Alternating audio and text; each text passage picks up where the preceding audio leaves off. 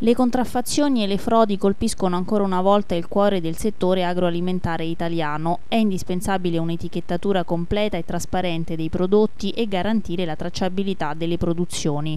Questo è il commento di Vittorio Cogliati Dezza, presidente di Lega Ambiente, sul sequestro effettuato dai NAS di Cremona di 2.300 prosciutti DOP in circa 40 stabilimenti di stagionatura emiliani e friulani.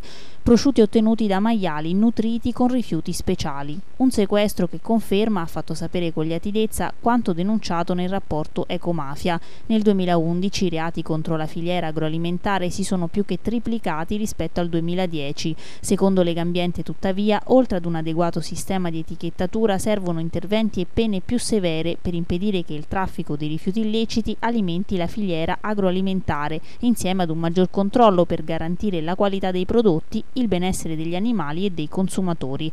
Questi gli strumenti di difesa difesa e tutela dei prodotti made in Italy e dei produttori che ogni giorno lavorano rispettando le regole per la produzione dei prodotti DOP seguendo le buone pratiche agricole.